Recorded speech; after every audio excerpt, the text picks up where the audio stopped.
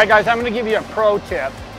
For you guys uh, that are seasoned Bobcat and particularly MT100 owners, you're probably already gonna know this, but for the guys that are looking to get into the machine or you just recently picked up a machine, I'm gonna show you a really cool feature with this, which is this float feature. So obviously this does all the drive, this controls your bucket.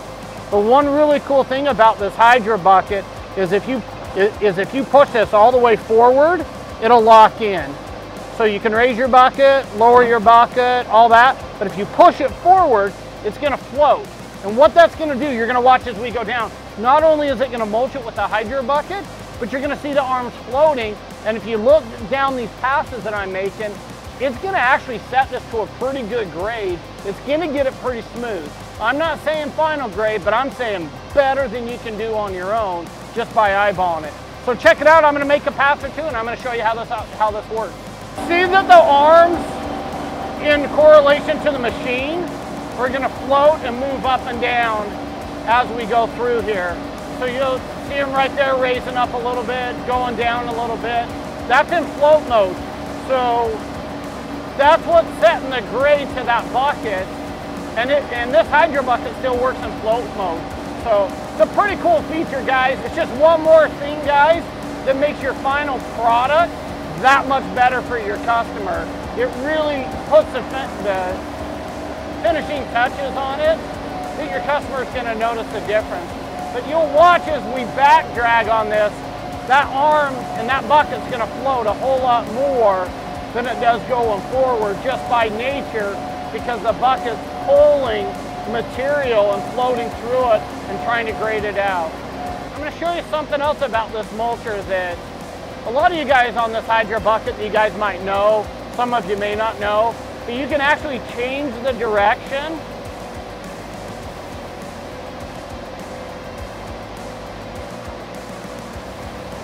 of the carbide teeth. So you can go forward, you can go backward. Not only does this assist if it gets uh, clogged up a little bit with whatever you have. But the idea is you run the mulcher in the opposite direction that you're traveling. So if I'm traveling reverse, I'm gonna take this controller, I'm gonna push it forward, and I'm gonna lock it in. And then I'm gonna drag the, back, the bucket backwards as we come backwards. And then when I change directions, I'm gonna take it, I'm gonna push it, I'm gonna lock it in, and I'm gonna push forward. So this is always in the opposite direction of your travel, and that's gonna give you, in my experience, the best mulch that you're gonna get and the smoothest path that you're gonna get on your project. So one of the other really nice features of this is how close you can actually cut this into a fence. If you guys look at that piece right there, you can literally get this thing within just a couple of inches of that fence, which is really nice because you're going to save yourself a lot of shovel and rake work on your final product. But you can really get a precision cut and put this right next to your fence.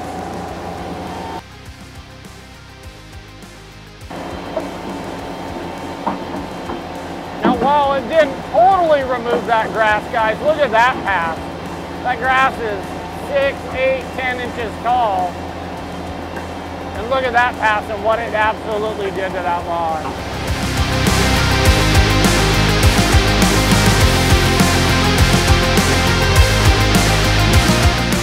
So guys, one thing that you'll see when we do this is I try and mark the I try and mark the sprinklers. This particular yard They've got them on the sides over here. You can see them over here. But in the middle of the yard, there's only one. So what we do is we paint it and then um, mark it with a bucket. That's just a more of a visual for me so I don't run it over. But guys, the nice, one nice thing, additional nice thing about this Hydra bucket is this thing's only going down about three or four inches. So you're usually not gonna get yourself in trouble with anything underground at all. So, and then we just carve around it, then we'll put the bucket back over the top of it. Again, that just marks as a visual for me, so I know where it's at as I'm glancing and looking around and stuff so I don't tear up anything that I don't intend to tear up.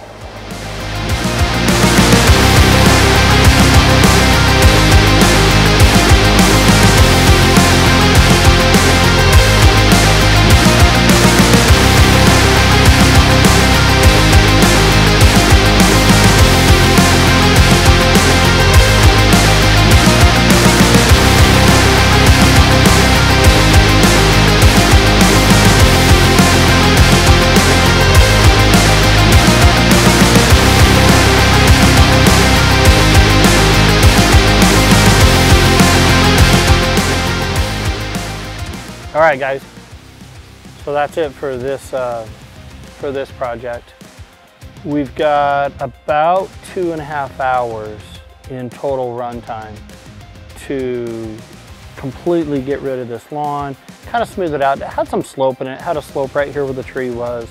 The only thing we left is a patch of grass per their instructions for their dogs to, I think they're gonna wire that off and let their dogs use that for a little play area, a little rest area, whatever they're going to do. But um, yeah, it turned out pretty good. Um, man, fast work with this uh, with this MT100. So it worked like a champ. Um, again, about two and a half hours, complete runtime on this project. You can see um, it's pretty uh, it's pretty soft right now. So they got their work cut out for them. Uh, I think they're going to reseed or resod or something like that, but worked out pretty good. Anyway, I hope you guys enjoyed the video. Uh, we've got some more content coming up for you guys. So let me know what you liked about it. Uh, let me know what else you guys would like to see about it. But uh, two thumbs up to CMP attachments for this Hydra bucket. This thing is an absolute beast. If you guys get a chance to play with one, definitely check them out. We'll catch you guys next time. Thanks for watching.